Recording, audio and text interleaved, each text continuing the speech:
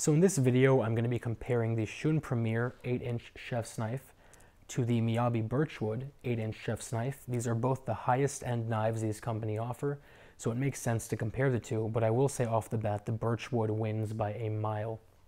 One of the biggest reasons is it is completely handmade from start to finish, while the Shun is like automated handmade. So the quality on this knife is supreme and nothing can really match uh, Miyabi's as a whole in terms of fit and finish. Every single edge has been rounded out. You can see me rolling my finger on it as I'm making this. And there are no sharp edges anywhere, even down here, no sharp edges. The handle where it meets the blade and where it meets the end is completely and totally flush. No lip, no ridges, no divots, no gaps, nothing. And even the logo in the back has been carved, so it's crisp and sharp.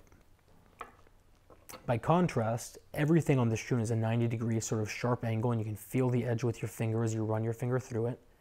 There's even like a little burr that almost all of the Shuns have on either side right here, which I'm not a fan of. The handle where it meets the actual blade, you can feel a little burr, so it's not completely flush, and it's even worse towards the back with the gold trim. And the logo has been stamped, so you can actually see where the material has been pushed out of the way and it looks a little bit sloppy. The actual cutting edges are very, very different too. The Premier uses VG Max, which is a great steel, 61 hardness, but the Miyabi kicks it up to the next level and uses SG2.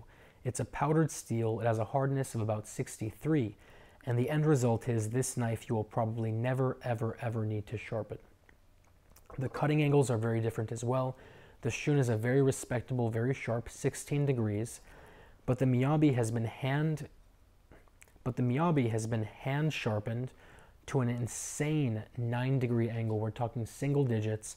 And as you can imagine, when you're comparing two knives and one of them has a cutting angle that is roughly, what, 50% thinner than the other, it is exponentially sharper. Both blades are beautiful.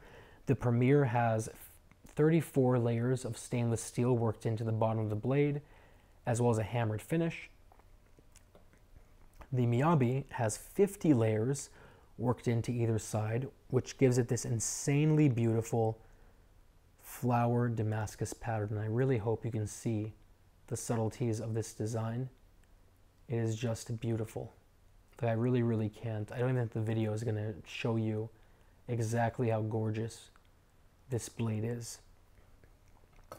Both have full tangs, they go through their handles. The Shun has a brown Pakkawood handle, which is a compressed resin-filled wood, and the Miyabi goes through its birchwood handle, which was one of the woods originally used in Fabergé eggs. And again, this video is not going to do justice with how beautiful the grain structure in this is.